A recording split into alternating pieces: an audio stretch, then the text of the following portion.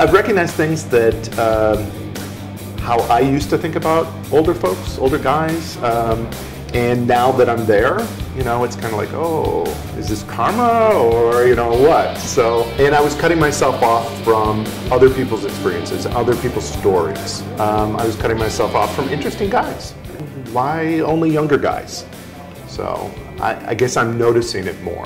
When we bring those preconceptions into profile or any kind of social situation, we're cutting ourselves off from meeting interesting people. Even if we're not going to date them, you know, talking to them and, and finding out what they're all about and giving them a chance to meet us.